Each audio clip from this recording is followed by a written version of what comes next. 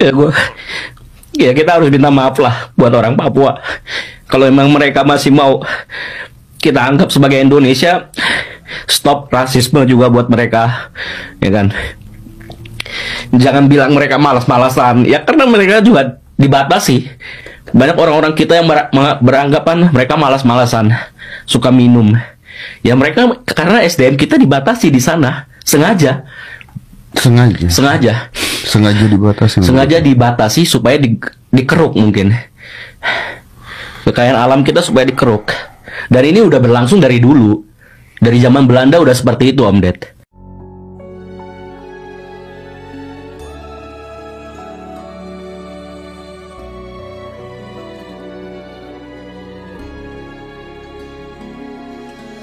Tujuh tahun sudah kau buatku percaya Eh, sebenarnya kita pemerintah termasuk kita nih Om Ded termasuk rakyat Indonesia itu harus minta maaf kepada rakyat Papua.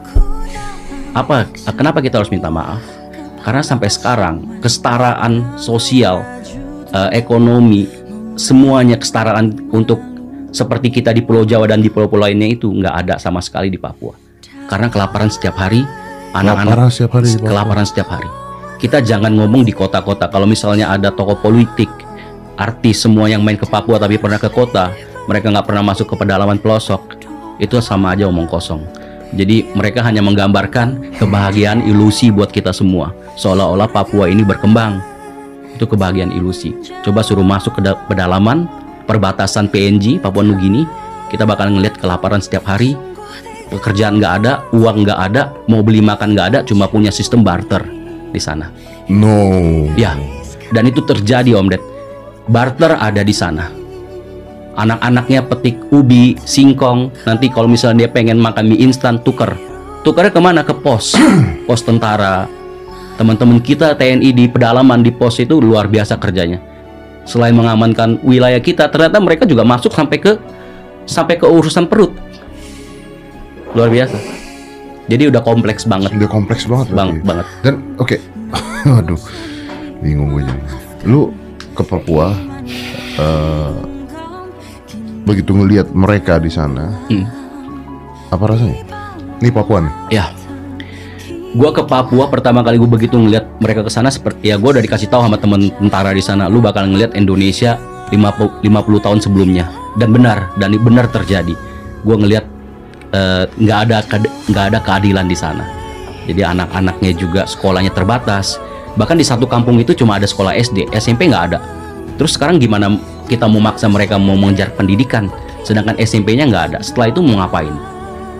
yang ada harus SMP harus ke kampung sebelah itu jalan kakinya juga lama jauh dan mereka ini kebanyakan bertransaksi di PNG Papua Nugini gua kan mampir ke satu kampung namanya kampung eh, kampung Kombut di situ lebih dekat dengan PNG sekarang akses jembatannya rusak aja nggak di nggak di nggak diperbaiki sampai sekarang jadi satu-satunya akses jembatan yang bisa masuk ke wilayah Indonesia kita seperti misalnya Bovendigul, Mindip Tanah dan lain-lain itu sampai sekarang nggak diperbaiki yang ada memaksa warga di sana masuk ke PNG untuk bertransaksi di sana, jual pinang ke sana.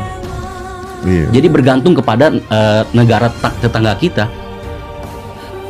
Karena Wah ini kompleks. Bos. kompleks. Di situ kelaparan ya kelaparan setiap hari karena seperti itu pekerjaan nggak ada. dibenerin? Kenapa nggak dibenerin? Gua nggak tahu ini sistemnya yang salah seperti apa gua nggak tahu. Atau memang permainan? Ya mungkin sengaja di ya sengaja dimiskinkan, sengaja dibodohkan supaya kita nggak pintar menuntut ya kan. Karena kalau kita terlalu pintar kan menuntut juga mungkin bagi oknum-oknum korup ya kan. Ya kalau misalnya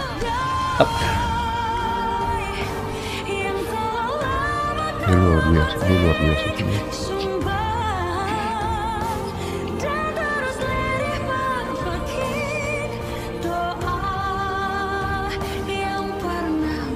Ya faktanya gitu kita punya saudara yang yang susah minta ampun. Sekarang kita capek-capek mengurusin luar negeri. Belum lagi kasus orang Rohingya datang. Ya, emang negara kita emang mau ngejar yang kayak gimana? Maksudnya Sedangkan lu lihat di Papua, lu lihat sendiri di Papua. ya gue lihat sendiri di Papua.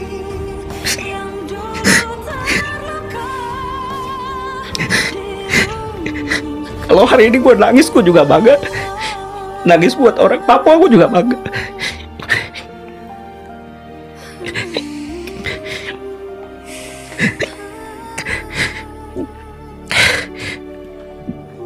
ya gue ya kita harus minta maaf lah buat orang Papua kalau memang mereka masih mau kita anggap sebagai Indonesia stop rasisme juga buat mereka ya kan jangan bilang mereka malas-malasan. Ya karena mereka juga dibatasi.